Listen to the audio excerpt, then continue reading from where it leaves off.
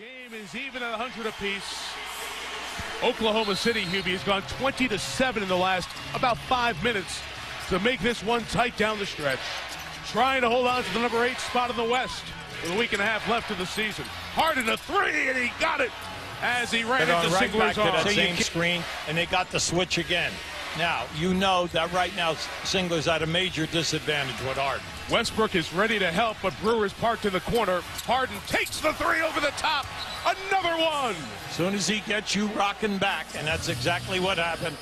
He's now six, six for nine in threes in this game. Two threes in 36 seconds and 39 points for the league's leading scorer. He's taken the Rockets back up five, under two left in Oklahoma City.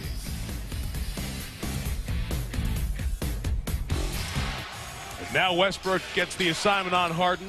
They didn't switch that time. That was good. Clock at three. There goes Harden. On the move, stepping back over Westbrook. Got it! 41 for Harden. His 10th 40 plus game of the season. Making it look easy. Houston got the ball. Howard just backed it out and then backed down. Westbrook took his time, gave him the ball fake first, then the head fake, and then up.